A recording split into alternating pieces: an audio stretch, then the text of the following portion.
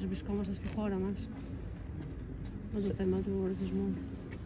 Κοιτάξτε, προσπάθειες ε, γίνονται το μεταξύ, Υπουργείο. μεταξύ των άλλων προσπαθειών που κάνουν οι εκπαιδευτικοί μας με τα εργαστήρια δεξιοτήτων, τα οποία διδάσκουν τον ανηλασιογασμό, το σεβασμό στα ανθρώπινα δικαιώματα, η κατάσταση είναι καλή. Σε ό,τι αφορά και το θέμα των προσφύγων, που επίσης είναι επίκαιρο και είναι και το θέμα και της σημερινής μας συζήτησης, υπάρχει υποδομή από την πλευρά του Υπουργείου μας. Είναι παρούσα η διευθύντρια της αυτοτελούς διεύθυνσης του Υπουργείου μαζί με εκπρόσωπο της UNICEF, με την οποία έχουμε υπογράψει πριν από πολύ λίγο καιρό ένα μνημόνιο κατά ευτυχή συγκυρία που θα εφαρμοστεί και στα παιδιά από την Ουκρανία. Η υποδομή υπάρχει.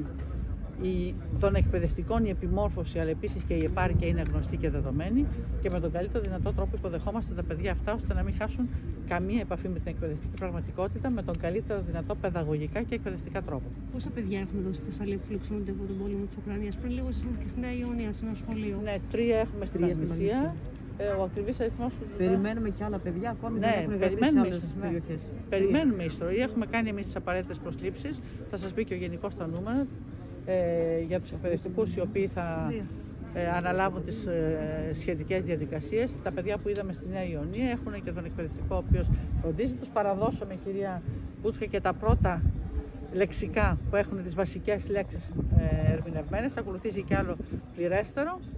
Εδώ είμαστε, στα παιδιά αυτά που ξεριζώθηκαν με ένα βίαιο τρόπο, να βοηθήσουμε όσο γίνεται καλύτερα και πληρέστερα.